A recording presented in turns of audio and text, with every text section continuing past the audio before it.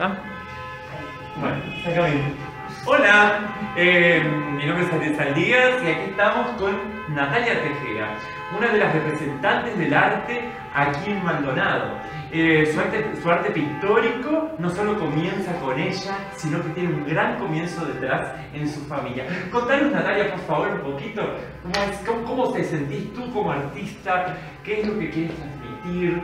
¿Qué es, eh, o sea, qué cómo contanos esa beta que ya conocemos, que ya conocemos, que es tan familiar, eh, o sea, cómo, cómo nace, cómo, cómo, cómo ruge dentro tuyo?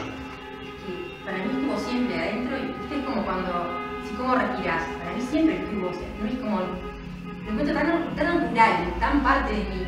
O sea, yo nací y estaba entre pinceles, bastidores, olor a óleo, aguarrás, eh, me, llamaba la atención los colores, o sea, porque vivía en ese mundo.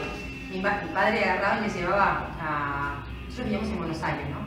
Y vivíamos cerca del este museo, ¿cómo se llama? Que en Recoleta, cerca del cementerio.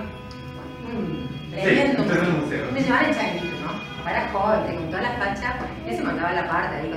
Y claro, y yo de repente me ponía y decía, un quinquera Martín. Y la gente alrededor, porque tenía dos años y sabía ¿viste? el autor de cada obra, todo. Y todo y mi padre orgulloso, ¿no? O sea, que siempre lo vivía, entonces no sé, es, es, algo natural, es como, como te pasa a vos, es algo respirar. Es como respirar. Es como respirar, es, es como, como respirar, no sé, me sale, me lo siento. Si no respiro me muero, si lo apunto también. Es y aparte es, hermoso todo lo que haces, todo lo que haces, todo el arte que, que, que, que reflejas, ¿no? que es propio de nuestro, de nuestro, de nuestro folclore, ¿no? es, es, acá, está plasmado en cada una de tus obras, ¿no? Es fantástico lo, lo, lo que logras, ¿no? Este, además de que, además que somos primos, ¿no? Entonces, entonces la prima chica. La prima, la prima chica.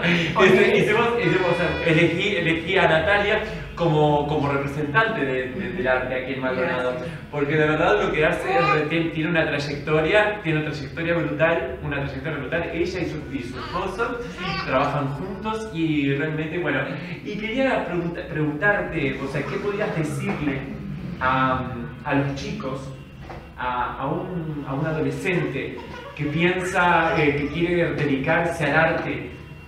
¿Se la juega? ¿No se la juega? Busca, lucha por sus sueños. Sin duda, pero al arte. O sea, creo que hay una cosa que, he visto mucho en los últimos tiempos, que se, se confunde el tema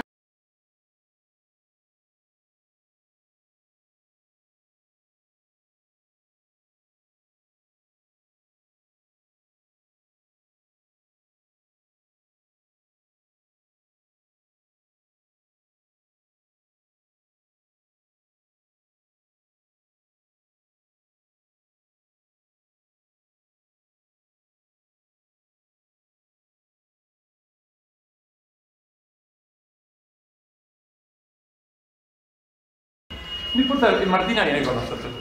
Bueno, acá viene, acá viene la Martina, Martina otra, otra, otra, generación futura artista. Pues si estamos hablando de qué le, qué le podrías transmitir vos a los chicos de hoy día si quieren jugarse la Que se la jueguen pero es en serio.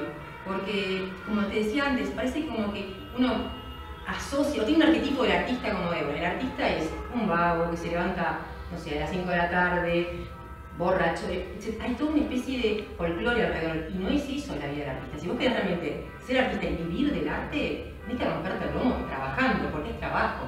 Si vos te crees que querés hacer buena onda, uy, te vas a, a como se llama, Bellas Artes, bueno, no es que querés ser artista. Si quieres ser artista, tenés que laburarla. Eh, ¿Viste cómo dicen las 8 horas? Bueno, a veces son 10, 12, eh, te intoxicás con el olor a óleo, a pintura, a diluyente, eh, pero es, es trabajo. Pero estás grabando tu propia esencia. Totalmente. Tu propia Totalmente. esencia. Y la esencia de tus raíces. Yo creo que uno pinta, ¿viste? Y dice, no mires, o sea, el corazón, la mano está unida directamente al corazón. Es el corazón el que te va cambiando cada cosa. Es más, el cuadro tiene vida propia. Entonces uno cuando empiezas a pintar un cuadro, de repente tienes una idea, vos sentís como que el cuadro te va llevando a otros lados que nada que ver. Y bueno, y vos lo dejás ir porque como que te habla, te pide. Y, y el arte tiene su vida propia, tiene esa conexión, es increíble. Para mí es mágico. Pintar es como cambiar de dimensión. Es hermoso. como yo soy del escenario y cantar para mí es, vivir un macro, un macro mundo, ¿no? Que, es- que, que es Es ese el segundo y se terminó y, el después, claro, pero, cual. después está ahí. Y aparte es lo que le brindás a la gente. Exacto. Porque el que te escucha queda con la piel erizada. Totalmente. te doy las gracias. Sos una, una diosa. Gracias, gracias. gracias a todos. Esto es para eh, taller de expresión corporal.